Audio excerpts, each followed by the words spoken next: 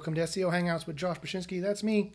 If you were hit uh, by the latest Google algorithm update, this is a video for you to help diagnose a little bit about maybe what that could have been. Uh, Google makes updates. Uh, it's rumored they make updates every day. So if you've recently lost some Google rankings, you may have been subject to this last uh, Google release.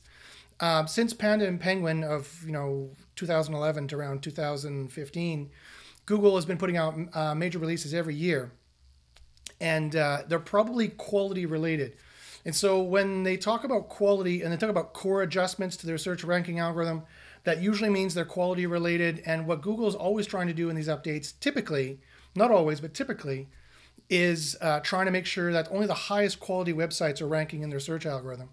So um, you have to make sure that your website is of the highest possible quality. When Google's talking about quality, they typically mean that users like it. So the users of your website like your website, they share your website, they link to your website, they convert on your website, they don't bounce around your website, they don't bounce back to Google, they don't uh, uh, uh, get annoyed or angry at your website because it takes too long to load, because the design is not very good, or maybe your content's not very good. So this is really difficult for webmasters, uh, uh, honestly, and quite often because no one wants to admit that they have a crappy website and, and uh, no one wants to redo their website that they had done in 1997 and get it redone or even in 2007 and get it redone. But unfortunately that's quite often the case that google is uh, google doesn't care. Uh, google has some 80 trillion web pages to rank and sort these days. Uh, all, they, all they care about is whether people like it or not and whether your web page is good they don't care if you're a good person or not. So um, you really it really uh, it's really your responsibility as a webmaster these days, unfortunately, and, and owning a website moving forward uh, for all these new Google algorithm updates to make sure your website is of the highest possible quality. I do have some ways you can diagnose whether your website is of the highest possible quality. The first way is the easiest way is to email me at joshbachynski at gmail.com. That's J O S H B A C H Y N S K I at gmail.com, and I will definitely help you out. Ask me any SEO questions that you have. You can follow me on Twitter at Josh Bachynski for more information. You can also watch more videos like this on my channel.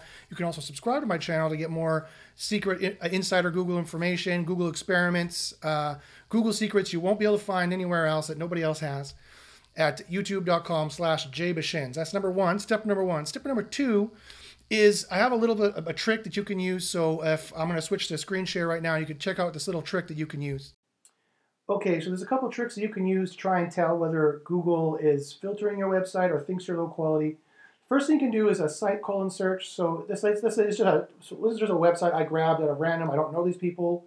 Uh, I'm sure they're great people. I, um, if they see me using their website and they're annoyed, I apologize. But I just grabbed this site at random. I don't know them, and I put in a site colon search and it gives me the rough idea how many pages are. This number should be, if you're under 2,000 pages, this number should be more or less accurate, by give or take a few hundred pages.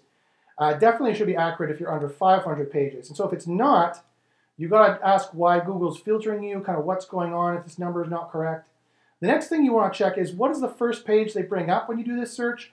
Typically, it should be a useful page or the most useful page.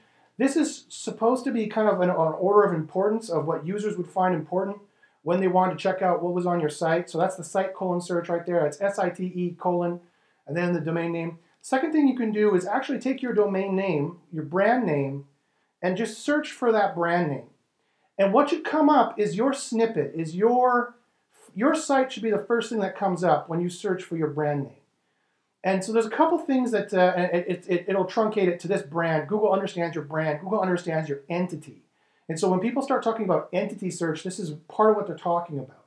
And so when you search for your, your, your website name without the www and without the .com, it basically, first off, you want to see what shows up here in the instant search to see if any bad stuff comes up in here, like reviews or jail time or something like that, or bad reviews or or ripoff or, or, or something like that. You want to check that out to make sure that that's accurate. If there's any bad stuff about you here, you don't want it to be here for sure.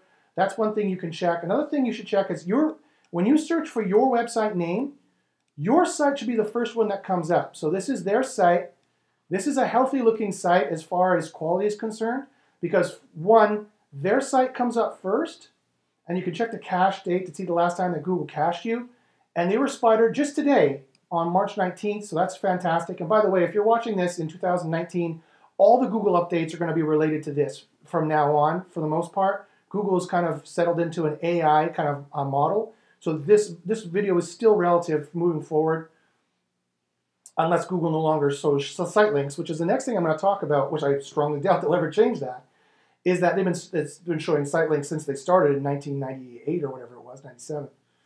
Um, the site links is the next thing. If, your site comes up first, that's the first good thing. But the second good thing is you definitely want site links to show up. And these are the site links, and it's supposed to be links into deeper into your site of stuff that is supposed to be useful. So if they don't show up, the site links don't show up, you definitely have a quality problem. There's definitely a quality problem from the from the fact that you're too new, or you're being filtered, or you're not high quality enough. They don't have a quality rating for you yet.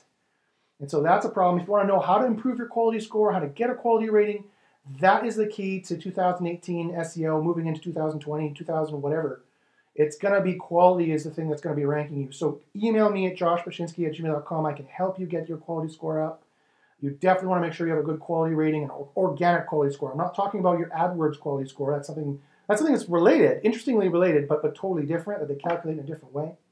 Another thing you want to check here is to make sure that, that if you have a Facebook page, that it shows up, right? Or if you have a LinkedIn page, that shows up.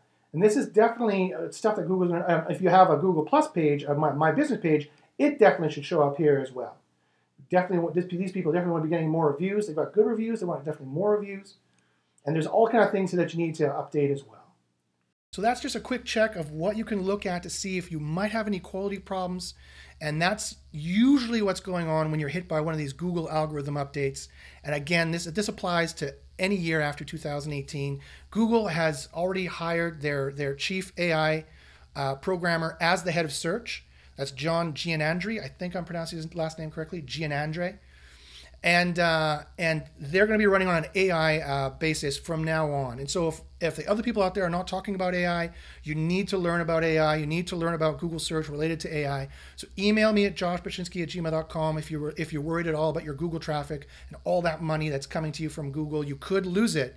It's entirely possible. I've seen it happen uh, way too many times, unfortunately, to, to clients and to people who come to me and I try and help them out uh, and to other people in the industry. I've been in this industry for over 20 years. So definitely email me at joshbachynski at gmail.com. Use my tricks, my free tricks to try and see uh, what's going on with your site. If you need any help at all, I'm always here. Email me at joshbachynski at gmail.com. I'd love to answer any SEO questions you have and help you out. And as I always say, good luck in the SERPs.